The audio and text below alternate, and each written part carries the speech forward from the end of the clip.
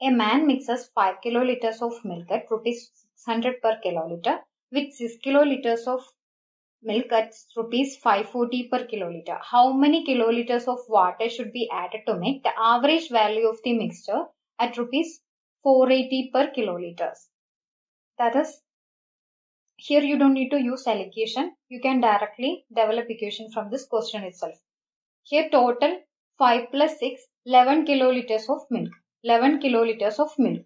And the price of this 11 kiloliters of milk is equal to 5 into 600, 3000 plus 6 into 540. That is 6 into 500, 3000, 6 into 40, 240. That means 3240.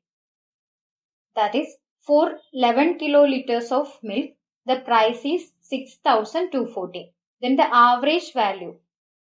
This is, if you solve, there is an average value here. But when you add water, when you add water to this 11 kiloliters, this price should become, average price should become 480. That is when you add water, 6240 divided by 11 plus water will become 480 rupees. When you add water, the average price will become 480. So, equation developed that is 11 plus water is equal to, water amount is equal to 6240 divided by 480. 0, 0 cancel. 8 into 6 is equal to 48. 8 into 7, 56. 8 into 8, 64. So, 78 by 6 means 6 ones is 6.